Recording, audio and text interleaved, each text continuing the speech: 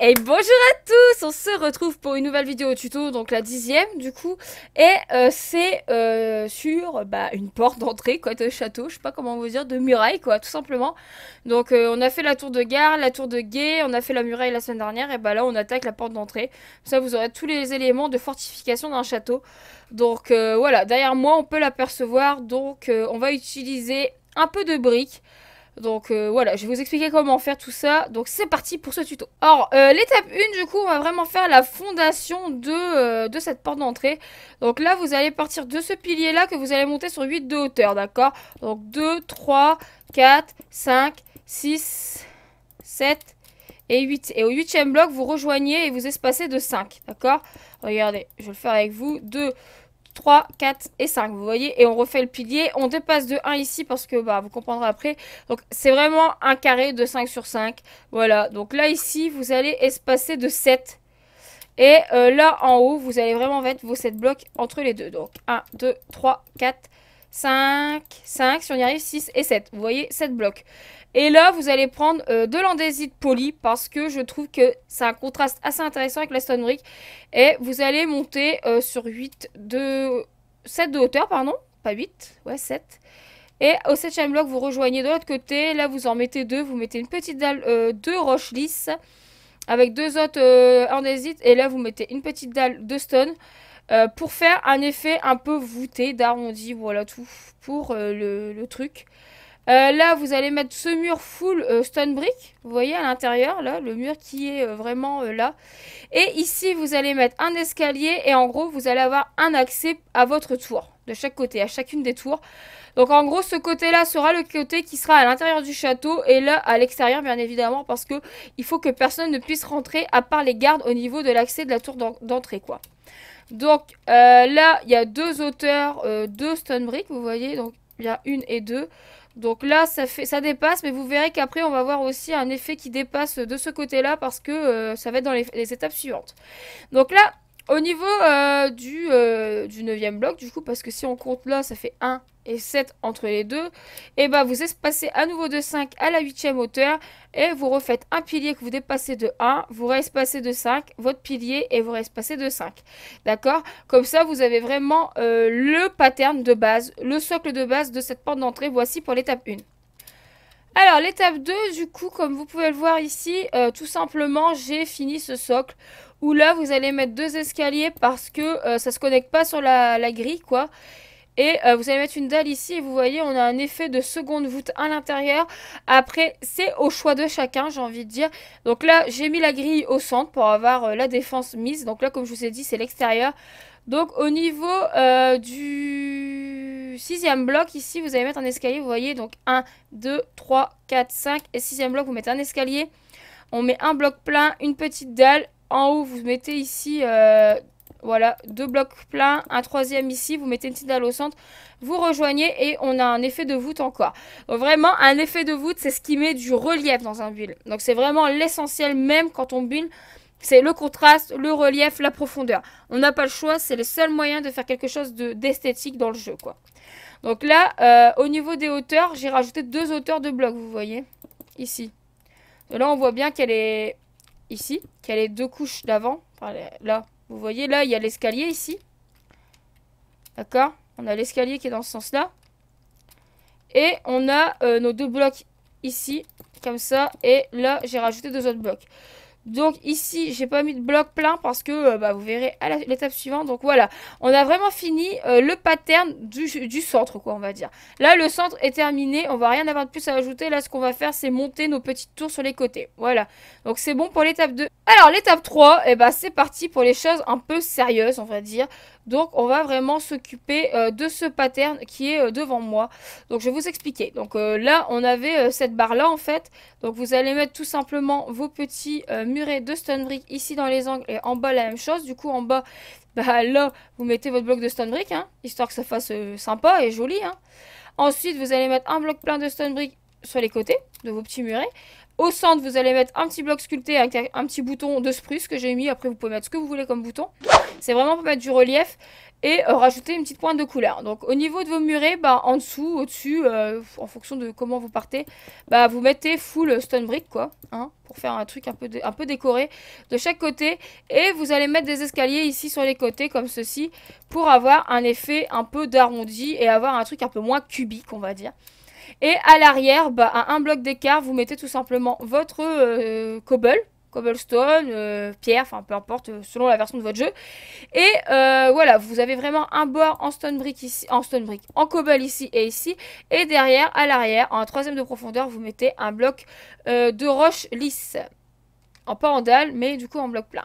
Donc que vous allez pouvoir avoir à partir de la 1.14 en version vanilla. Donc voilà, on a fait ça sur chaque côté, vous voyez, et vraiment on a un pattern qui est sympa. Donc vraiment, vos petits murets de cobble, votre stone brick au-dessus, vous mettez sur vos côtés de vos murets de cobble un bloc de, de un bloc de stone brick, pardon, un bloc sculpté au centre, le petit bouton les petits escaliers en dessous de petits blocs de stone brick comme ceci. Et euh, voilà, vous avez un effet d'arrondi. Après, vous attaquez votre deuxième profondeur, donc avec la cobblestone.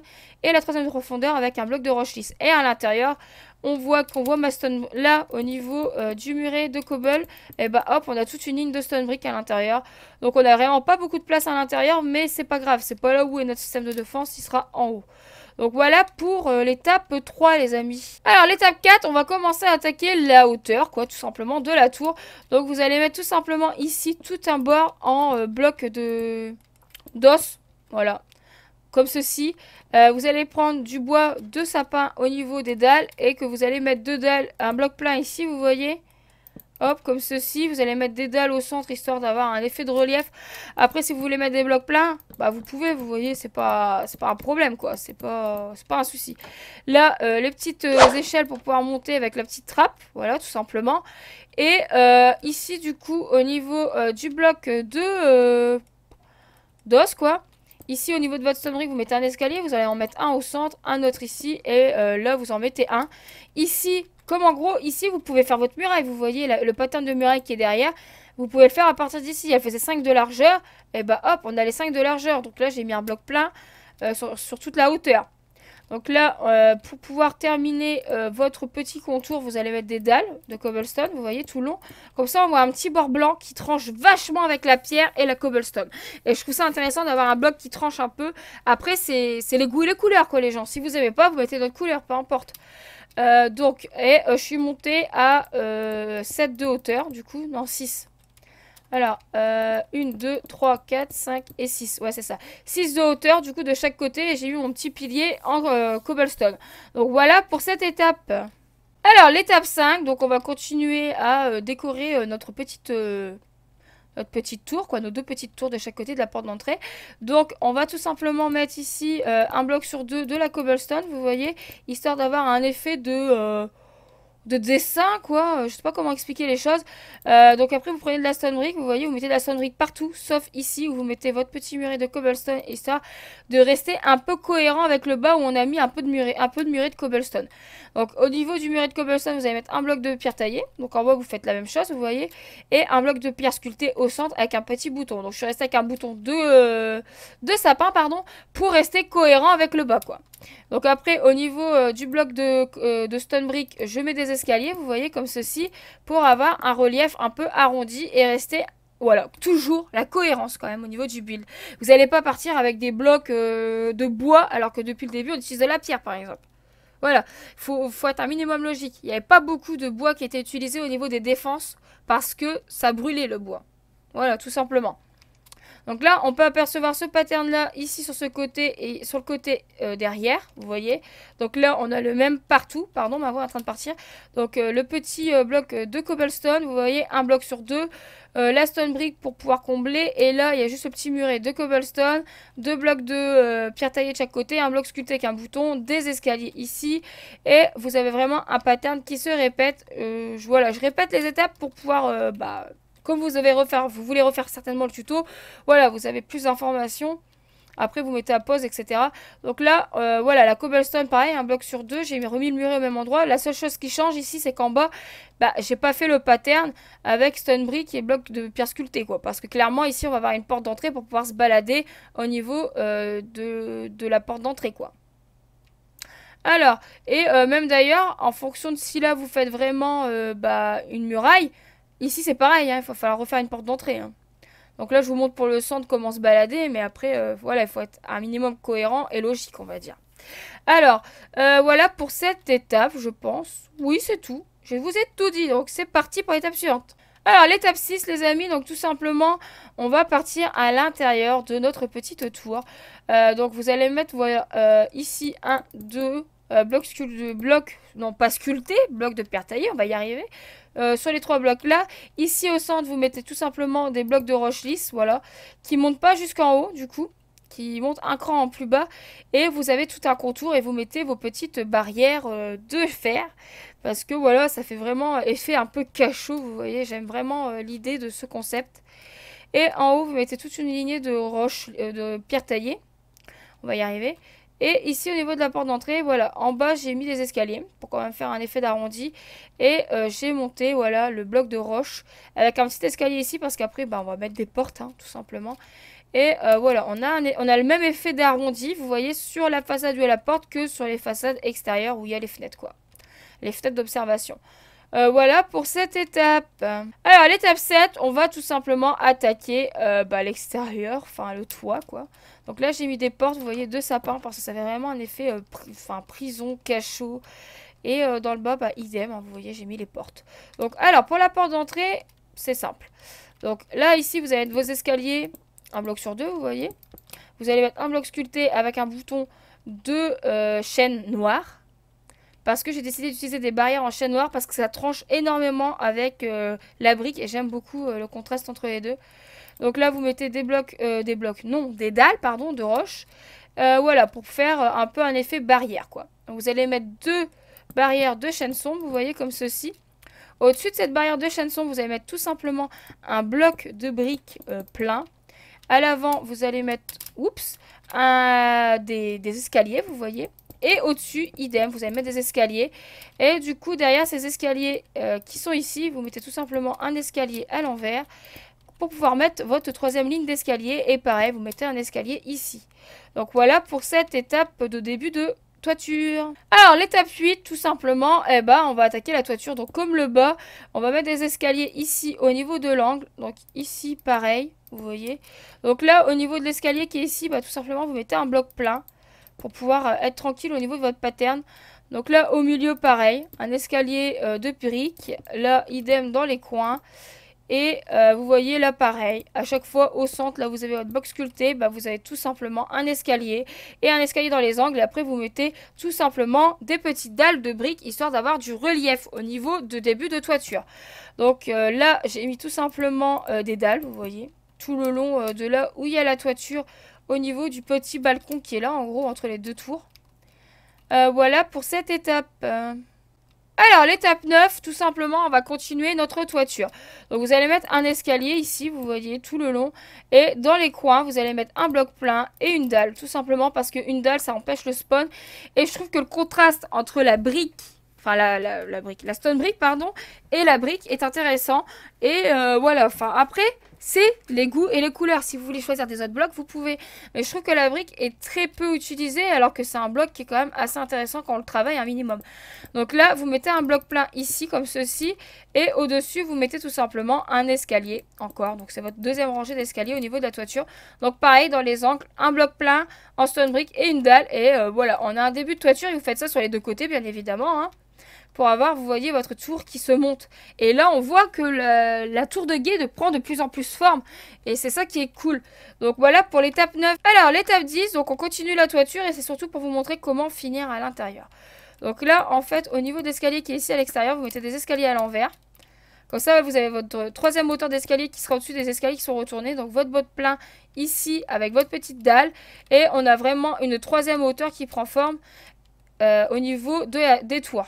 Voilà pour l'étape qui était très courte. Alors, l'étape 11 euh, du coup. J'oublie un petit peu à force. Donc l'étape 11, tout simplement au niveau de votre troisième hauteur d'escalier, bah, vous allez mettre des dalles avec un bloc euh, de lumière. Donc euh, j'ai pris de la glowstone parce que bah, mon pack elle, est vraiment sympa. Et je trouve que la couleur euh, jaune avec la brique tranche bien. Donc là vous mettez tout simplement bah, vos blocs pleins avec votre dalle pour continuer à montrer votre tourelle quoi. Voilà pour cette étape qui est très courte encore une fois. Donc vraiment c'est pour vraiment vous montrer étape par étape comment j'ai fait l'intérieur aussi. Donc l'étape 12 qui est la dernière du tuto les amis c'est tout simplement au-dessus du bloc de lumière. qui est là. j'ai mis un escalier là. Et là, tout simplement, j'ai mis un bloc. Les blocs de... Ah, je me suis foiré. J'ai pris les dalles au lieu de prendre un bloc. Voilà, donc là, on va mettre un bloc plein. On va mettre une barrière de cobblestone. On va mettre trois euh, barrières euh, de... De chêne noir, on va y arriver. Une petite dalle euh, de pierre lisse. Et vous allez prendre tout simplement votre laine. Je vais casser ça pour vous montrer comment j'ai fait. Donc on va prendre deux laines comme ceci. Et on va prendre euh, deux laines comme cela qu'on va mettre ici. On va prendre de la laine blanche si on y arrive. Euh, du coup la laine blanche comme ceci. Et là comme cela. On met un bloc à l'avant à chaque fois. Il y a juste ici où c'est un bloc en dessous. Et on a vraiment cet effet euh, de drapeau qui flotte dans les airs. moi j'aime bien. Après voilà, c'est les goûts et les couleurs encore une fois. C'est vraiment ça dans le jeu. Et euh, au-dessus, voilà, n'oubliez pas du coup de mettre des petites euh, carpettes pour pas que ça spawn les mobs. Mais voici pour la tour d'entrée du château qui reste vraiment... Euh, pour moi, c'est c'est petit, c'est assez réaliste au niveau de la taille, des proportions, parce qu'il faut vous dire que un bloc dans Minecraft, ça représente un mètre, les gens. Donc là, vous imaginez, il y a 8, il y a au moins 20 mètres de haut. Et je pense que voilà, c'est vraiment déjà pas mal honnête pour une taille de château. Euh, voici pour ce tutoriel. Euh, je vous remercie de l'avoir suivi. Euh, n'hésitez pas à donner des idées sur ce que vous voudriez voir tant qu'on est encore dans le thème médiéval. J'ai encore des idées, des builds à vous montrer, mais si vous avez des demandes particulières, n'hésitez pas, car vraiment c'est le but, c'est de répondre à vos attentes. je de mieux en mieux régler mon micro, donc normalement ça ne sature plus. Donc je vous remercie d'avoir regardé ce tutoriel, je vous souhaite de passer une agréable journée, je vous fais des bisous, je vous dis à la prochaine, ciao ciao